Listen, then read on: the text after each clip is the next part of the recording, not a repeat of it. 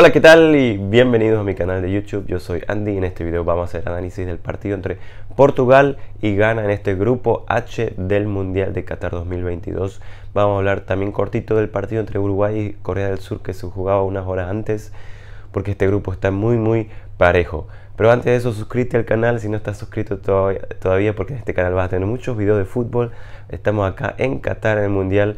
Vas a tener muchos videos de Qatar, de, la, de Doha, del Mundial no solo de fútbol, de análisis de blog de estadios, en los estadios, videos, sino también de la ciudad y del país Qatar. Así que eh, siempre atentos, ahí prendan la campanita porque va a estar muy interesante este mes. Así que bueno, empezamos con las formaciones primero de los dos equipos. Vamos a ver Portugal cómo jugó hoy, cómo enfrentó este, este partido. Bueno, Diego Costa en el arco, el arquero, el joven arquero del Porto, Después la defensa con Rafael Guerreiro por la izquierda, Cancelo por la derecha, centrales con Rubén Díaz y Danilo Pereira. En el medio campo con Rubén Neves, con Bernardo Silva, Otavio, Bruno Fernández y adelante con Joao Félix y Cristiano Ronaldo.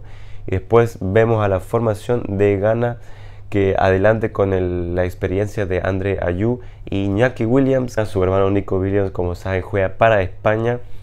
Y bueno, este equipo de Ghana es el más joven de todo el mundial, el más joven que donde también juega Thomas Partey, un jugador eh, muy importante que, eh, que lo conocemos todos, que jugaba en el Atlético de Madrid y ahora está en el Arsenal, puntero de la Premier League en la defensa. También conocemos a Salisu de la Liga Española y a Amartey que juega en el Getafe.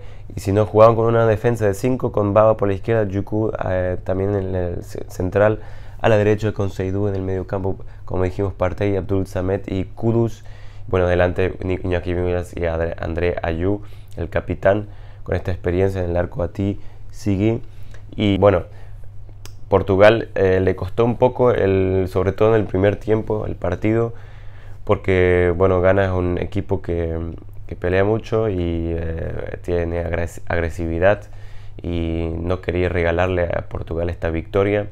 Por eso en el primer tiempo quedó un poco ahí, em, bueno, trancado el partido, aunque Cristiano por ahí tuvo una chance, pero no, no estuvo muy bien Portugal en el primer tiempo. Después en el segundo, ahí sí que pasaron muchas cosas en el segundo tiempo, o sea, ahí de verdad empezó el partido, se puede decir eh, hubo una lesión de Portugal, Otavio se lesionó, entró William Carvalho. Vamos a ver eh, eh, cuánto tiempo estará Otavio de baja, ojalá que no, no sea tanto. con William Carvalho entró uno más defensivo, ahí, bueno, reforzando el medio campo. Y bueno, en el minuto 65 llegó una acción donde el árbitro pitó penal para Portugal. Fue una falta, un, como un empuje más o menos, medio empuje ahí a Cristiano Ronaldo, que llegó primero a la pelota eh, y bueno, eh, muchos dicen que quizás no era tan claro el penal, pero bueno, si el árbitro pita el, penal, después ya eh, no lo iba a sacar porque no, bueno, tampoco fue algo que, que, mm, bueno, tampoco fue que no fue penal, o sea, claro no fue, pero tampoco fue que no lo tocó ni, ni lo empujó, o sea, hubo ahí un, un poco un empuje y Cristiano llegó primero a la pelota, por eso está bien que pitó al final penal, aunque no fue 100% claro. Y bueno, Cristiano fue y lo hizo en el 65 1 a 0 para Portugal, para Cristiano Ronaldo, que mete en su quinto mundial, mete un gol, o sea, el único jugador, otro récord para Cristiano Ronaldo en su quinto mundial, hace gol, impresionante, octavo gol en todos los mundiales Cristiano Ronaldo.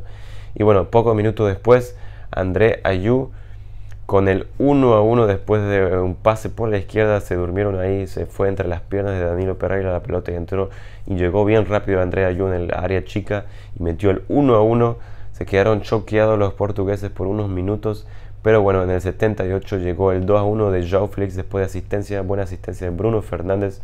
Joao Félix golazo 2 a 1 y solo dos minutos después, solo dos minutos después llegó el 3 a 1. Otra vez Bruno Fernández con la asistencia. No fue offside, fue justito, justito.